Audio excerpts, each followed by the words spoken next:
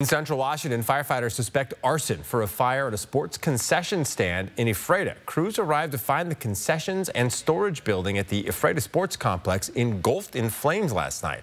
It's believed the fire started in a porta potty next to the building. Grant County firefighters helped put the fire out.